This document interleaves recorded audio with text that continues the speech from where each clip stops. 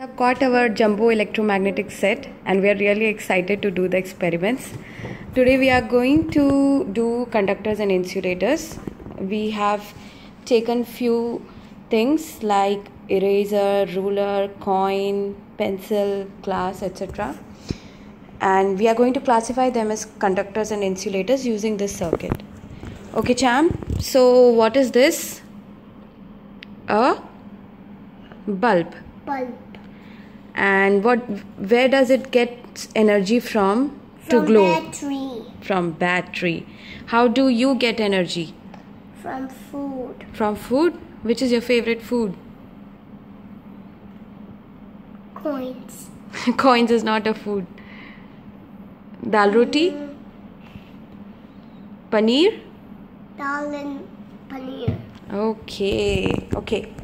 So what do you want to pick first I want to pick coin okay. And we will see whether coin is able to glow the bulb or not.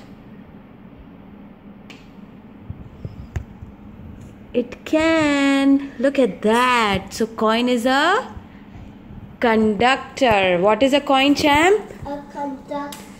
And a coin is made of metal. metal. Okay. What do you want to try next Okay. Champ is so excited about the glowing of bulbs, so he's picking conductors first.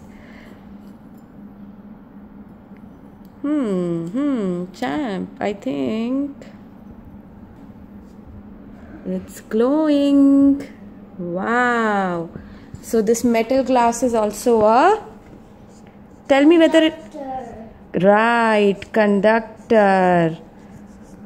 Okay. What is next? Should we try eraser? we can choose this Oh, pencil? Okay. Yeah, try that. It touches both the wires. Do you see that? To complete the circuit, the object should touch both the wires. However, pencil is made of wood and it's not able to conduct the electricity through it. So it's an insulator. What is pencil champ? insulator Insulator. Okay, let's try the magnet. how about this Oh, you want to try the compass? I took the coin again Okay, put the compass. Is it glowing? Yes, it is. Do you see that small yellow light in there? Okay, so this compass is made of metal. Okay, so it's a conductor. Okay, what next? Let's take a take this ruler. okay Ruler is made of wood plastic. plastic It's touching both the wires, but it's still not able to glow the bulb. So it's an what is it? Insulator or conductor? Insulator. Insulator. Insulator. Okay, let's now try this aluminium foil container. Aluminium is a metal and thus it's able to conduct electricity and it's glowing the it's glowing the Bulb. bulb. Can you show it again? okay. Yay, it's glowing. So it's a what is it? Conductor. Conductor. What are you trying next? How about fork? Okay. That fork is made of Plastic. plastic.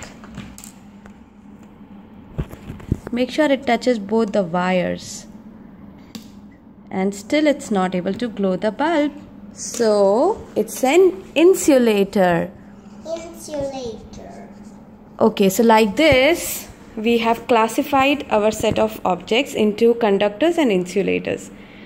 Do try this experiment and let us know how did your kid like it.